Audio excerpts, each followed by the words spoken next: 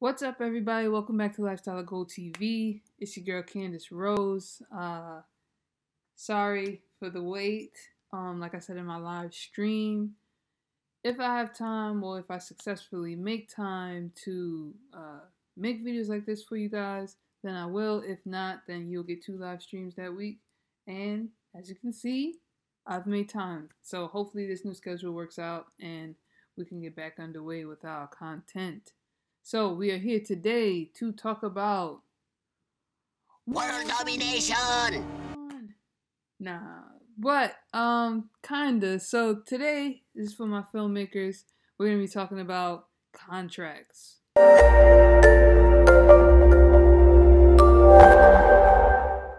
Now, contracts are super important for you know legal purposes. Obviously, um, it's really important for you as a filmmaker to protect yourself protect your entity if you have an LLC, which I feel like you should, and protect your equipment.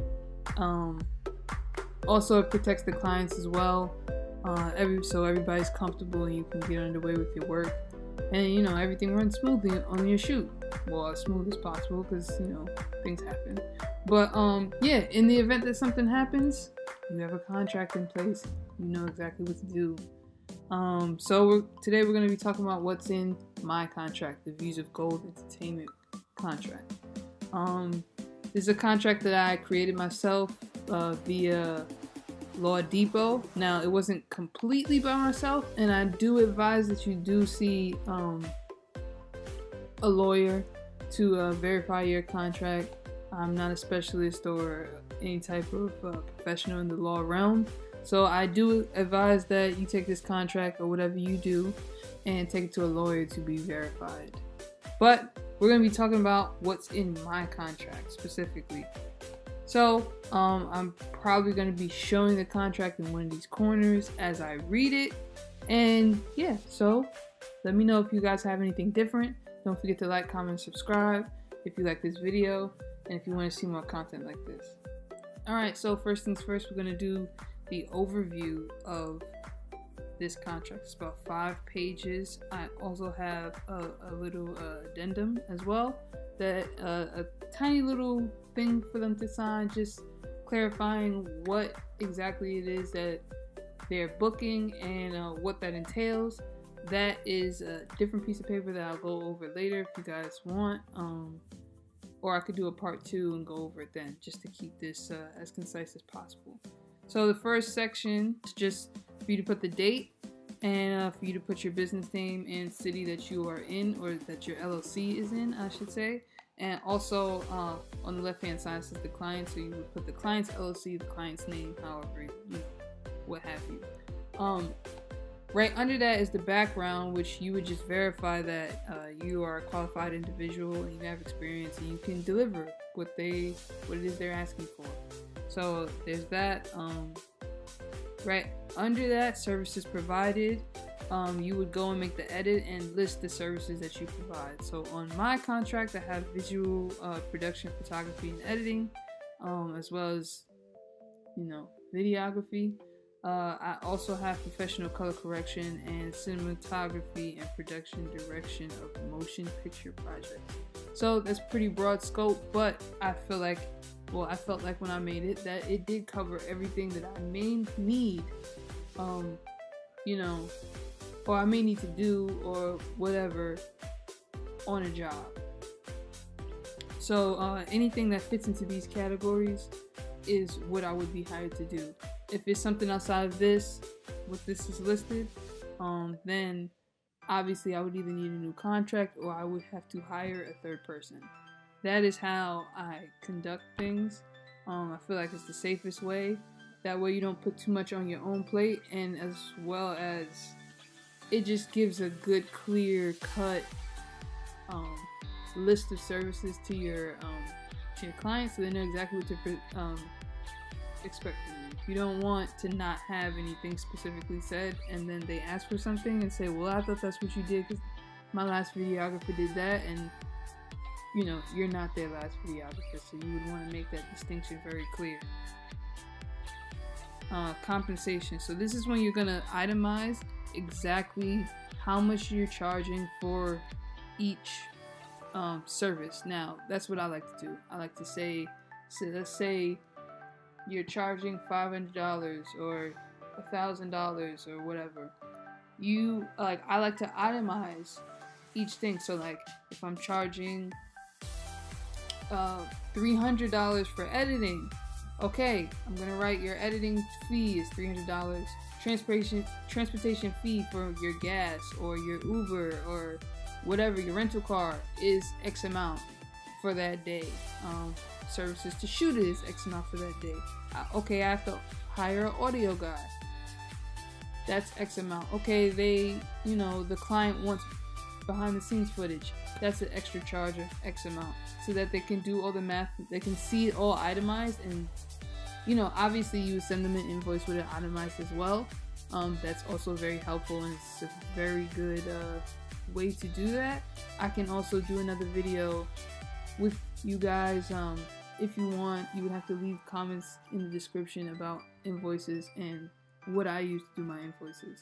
But yeah, this is where I like to put how much I'm charging, the price, um, and just itemize each thing so that it's in more than one place. Why I'm charging them that amount. Um, so right after that, the the number eight in compensations talks about the invoices. Oh, hold on, guys, my my tea, the the water for my tea boiling. One sec. Um. So now we're talking about um reimbursement. The contractor will be reimbursed from time to time for res- for reasonable and necessary expenses incurred by the contractor in connection with the providing with providing the services. So, um, yeah, it's basically saying that whatever money I have to shell out to get your job done, the client has to, well, the client has to reimburse whatever money I have to shell out. So if I have to front money for an Uber or front money for gas or front money for a rental car, that will be charged. Uh, it will be billed to the client and they will have to either pay me back or prepay. All expenses should be pre-approved with your client. Don't just do things without telling them and then expecting them to pay for it. Um, a lot of times, it's better to have a conversation with someone about why they need to pay for something than it is about like trying to I don't know. I'm not saying you're trying to scam them, but it could come off a little scammy when you start asking for more money and they don't understand why. So yeah, it's best to have that conversation before you start uh, doing these things, so that everybody's in agreement and everybody's on the same page. Notice for uh, communication between you and the client. So um, you would put yours for your business or your personal name and address and phone number, just a way to contact you and um, the client would do so as well. So this is what I wanted to get to is uh,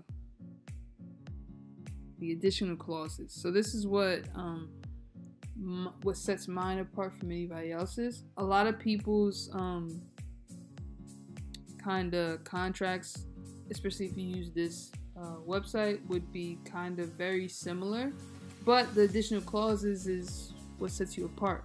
So, um, now here's what I get into. What I get into is uh, if the video shoot takes longer than agreed upon time due to fault of the client or their guests, the client will be charged an additional fee, you know, my hourly fee past the time due. Now, what I like to do is I like to be, you know, well, I, I do things with grace. So sometimes I'll give them an extra 30 minutes if I had to, you know, if I had to take some of the time to kind of set up, I, will give them that, that time back or whatever the case may be. If something went wrong, then I'll give them the time back.